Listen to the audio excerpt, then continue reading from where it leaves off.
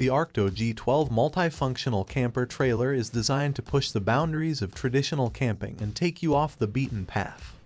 With off-road capabilities, including axle-less independent off-road suspension, 32 inches all-terrain tires, and 19 inches of ground clearance. With the aluminum undercarriage protection and all-composite body construction, you can get off the grid and enjoy the RV lifestyle. The Arkto Camper's G12 is completely built with composite materials. The walls are made of structural sandwich panels with incorporated aluminum tubes for those critical reinforcement points. The cabinetry is newly upgraded to laser cut, formed, and powder-coated aluminum to eliminate any mold, mildew, or warping issues that traditional travel trailers can experience. The Arkto Camper's G12 has a dry weight of 3,500 pounds, with a gross vehicle weight rating of 4,600 pounds. That allows you to tow the G12 with a wide variety of vehicles.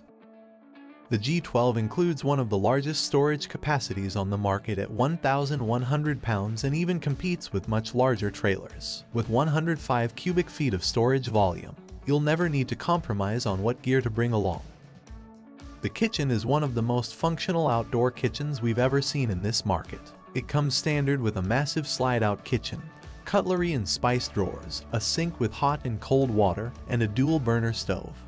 There's also a 12 cubic foot pantry, USB and 110 volt receptacles, a prep deck, and a 75 liter slide out chest fridge and freezer. You can leave the tote bins at home. This kitchen will be able to store all of your cooking hardware and dry goods you won't be sacrificing any comfort with the G12.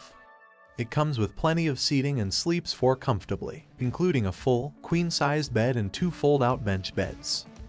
All these features come at a cost, as the Arkto G12 comes in at around $46,000. But if your budget can handle it, and you're looking for one of the very best in off-road campers, then this is one you should definitely check out.